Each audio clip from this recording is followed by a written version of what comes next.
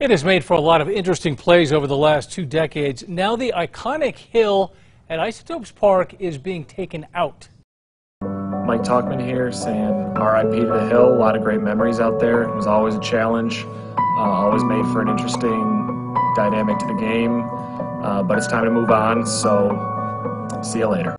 Yeah, see you later. The hill in center field has challenged and roughed up ball players from home and away since the park opened in 2003. Not only is it a unique feature, but it was the last remaining since the removal of Tal's Hill in Minute Maid Park in 2016.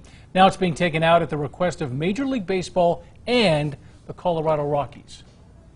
As time has gone on and Major League Baseball has more of a focus now on safety and player wellness and, uh, you know, having a hill in center field um, it's not natural to a field. It is sad because it's been part of the identity of this ballpark for 20 years, and uh, it has certainly played a key role in people's enjoyment um, of uh, not just the fans, but the players as well.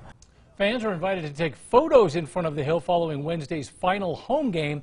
The removal will begin Thursday, but the Topes say the dimensions and the shape of the field will remain the same.